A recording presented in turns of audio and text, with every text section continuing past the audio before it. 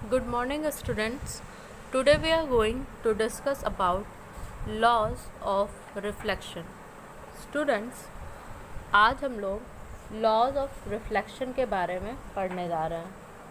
Students कल हमने पढ़ा what is reflection of light कल हमने देखा था कि रिफ्लेक्शन ऑफ़ लाइट क्या होता है, जिसमें हमने देखा कि जब बीम ऑफ़ लाइट इंसिडेंट करती है किसी एक प्लेन सरफेस पे तो उसका कुछ पार्ट रिटर्न हो जाता है उसी मीडियम में। इसी रिटर्न को हम क्या कहते हैं? रिफ्लेक्शन मतलब अगर कोई एक सरफेस है, जिस पे एक बीम ऑफ़ लाइट आ रही है तो कुछ बीम ऑफ़ लाइट क्या करेगी? रिफ्लेक्ट करेगी। इसी को हम क्या कहते हैं? रिफ्लेक्शन अब स्टूडेंट्स इस रिफ्लेक्शन को गवर्न करने के लिए कुछ लॉज हैं। द बेसिक टू लॉज दो लॉज हैं जो इसको गवर्न करते हैं।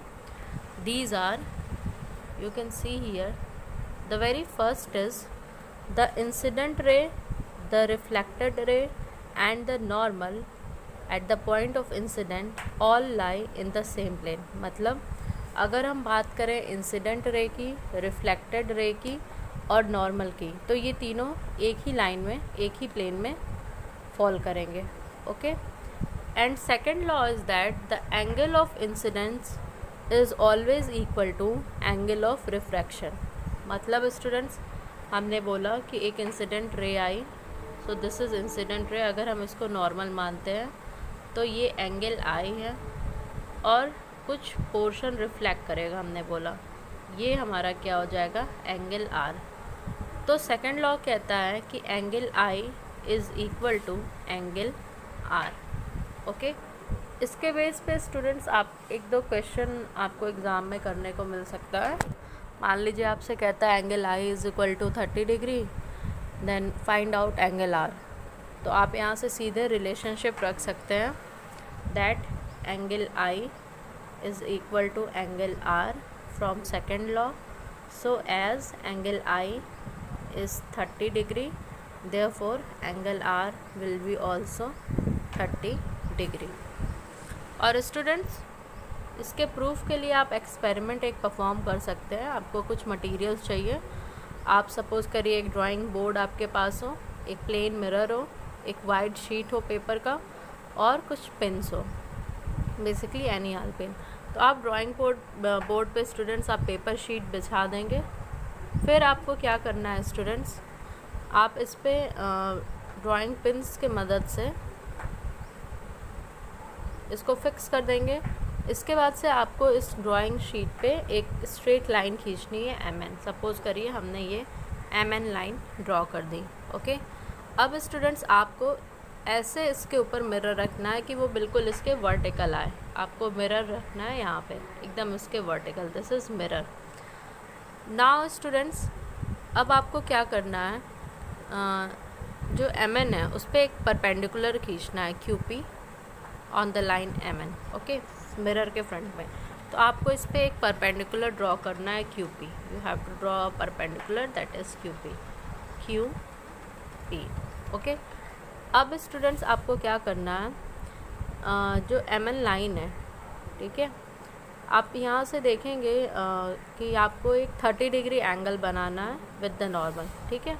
हम नॉर्मल क्यूपी को मान रहे हैं तो यहाँ से हमें एक थर्टी डिग्री एंगल बनाना है। सपोज़ करिए ये थर्टी डिग्री एंगल है।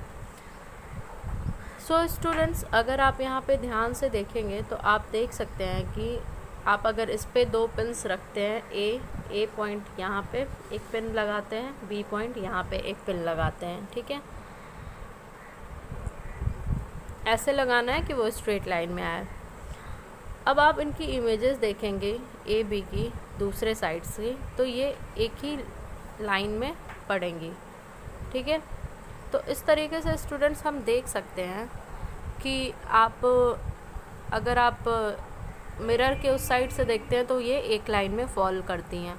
सिमिलरली स्टूडेंट सपोज़ करिए, हम इधर भी 30 डिग्री एंगल का बनाते हैं और यहाँ पे सी पॉइंट और डी पॉइंट लगा देते हैं। इसे भी आप जब मिरर के साइड से देखेंगे तो ये भी क्या करेंगे, एक लाइन में फॉल्स करेंगे ओके अब स्टूडेंट्स आप जब मिरर को यहाँ से हटा देंगे और इन लाइन सेगमेंट्स को ज्वाइन करेंगे, तब आप देखेंगे कि जो लाइन सेगमेंट है वो क्या हो रही है, एक स्ट्रेट लाइन में आ रही हैं। मतलब हम कह सकते हैं कि जो इंसिडेंट रे है, जो रिफ्लेक्टेड रे है और जो नॉर्मल है, वो क्या कर रहे हैं, सारे सेम प्लेन में लाई कर रहे हैं, ठीक है? तो ये प्रूव करता है first law of reflection students talking about second law second law को हम कैसे प्रूफ कर सकते हैं? प्रूफ के लिए सिंपल है, आपको एक सरफेस लेना है you have to take a plane surface okay polished surface या प्लेन सरफेस जो भी है। अब आप उसमें क्या करेंगे? आपने इंसिडेंट किया बीम ऑफ़ लाइट को और एक नॉर्मल ड्रॉ किया, फिर ये लाइट यहाँ से रिफ्लेक्ट हो रही है। आप इस एंगल को देखेंगे दिस विल बी सपोज़ करिए थर्टी डिग्री एंगल है। सो एंगल आर भी कितना हो जाएगा? थर्टी डिग्री डेजिग्नेशन दे दीजिए student this is incident ray this is reflected ray ये एंगल क्या है? This is angle I and this is angle R okay hence it is prove that आप यहाँ पे देख भी सकते हैं कि एंगल ए क्यू पी अगर हम यहाँ पे देख रहे हैं, ये angle A Q P is equal to angle D Q P okay and this proves the second law that is angle of incidence is equal to angle of reflection. So this is all about today's lecture. Thank you class.